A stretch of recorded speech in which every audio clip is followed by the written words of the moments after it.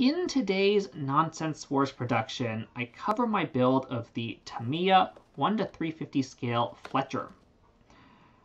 I don't do too many plastic models, and I consider myself a novice, but I want to do something different for the channel, and I want to practice for another kit that I might cover in a future video. I did this specific model as it feels like an entry-level offering among Tamiya's 1 to 350 scale ships. It appears to have a relatively low price, relatively wide availability, and perhaps fewer parts and less detail. I got mine from Amazon for the apparently discounted price of just $26.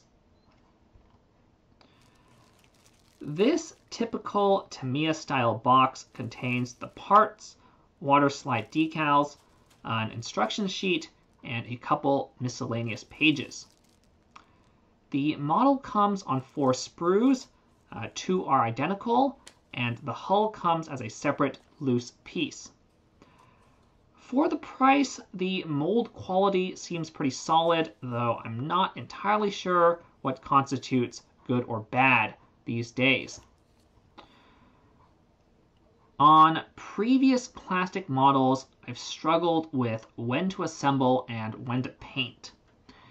Painting individual parts gives better control over colors, but painting entire assemblies requires less net painting and less parts cleanup. Completing assemblies might also form cavities that I can't easily paint. On top of that, painting on the sprues gives better control over the parts, but again requires more cleanup and so on and so forth. I tried to make assemblies of the same color before painting them. Effectively, this meant most of the superstructure without the smaller greebles.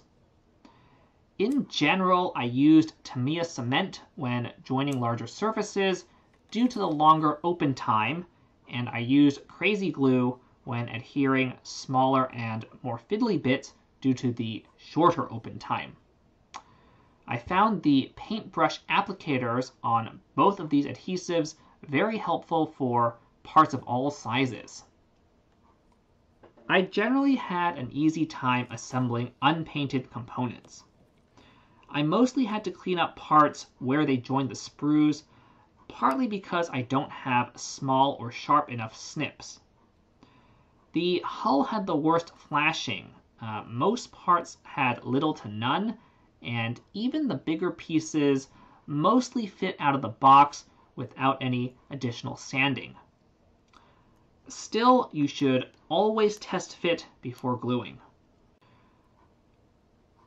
I painted most parts and assemblies secured to kebab sticks with removable mounting putty.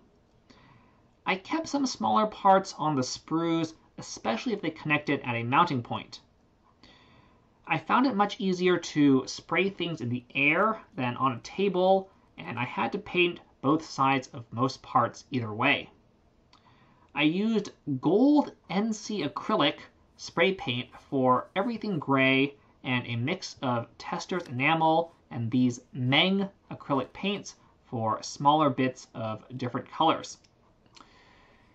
Now, I have to admit I messed up at least twice.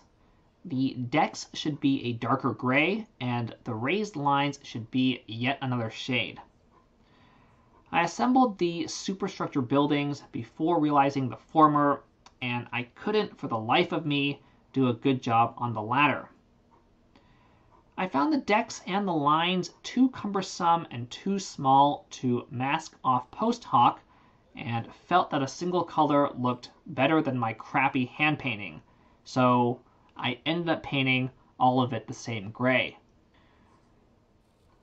While I could not mask the deck or the lines, I did mask parts of the hull to paint the waterline and the underside. The molding detail actually has two lines showing exactly where to mask. I hand painted the black section as a test and rattle canned the red section afterward. Thanks to the guides, both lines came out very straight, but despite trying a couple different types of masking tape, the edges all came out a bit jagged.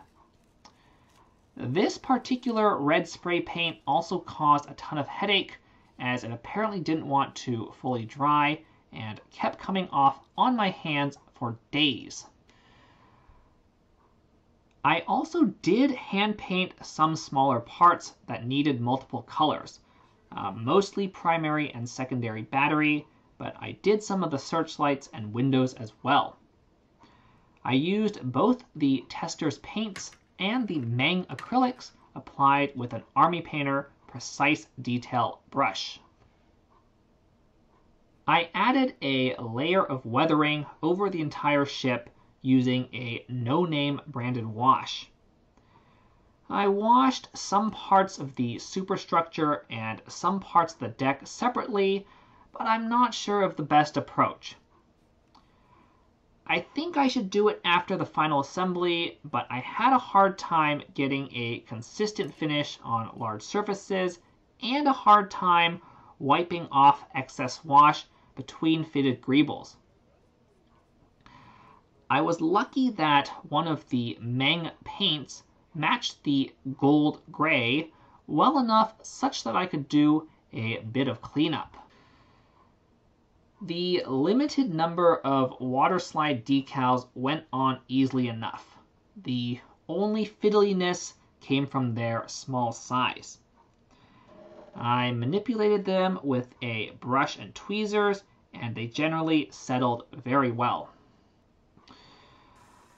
I also built this specific kit because of the scale.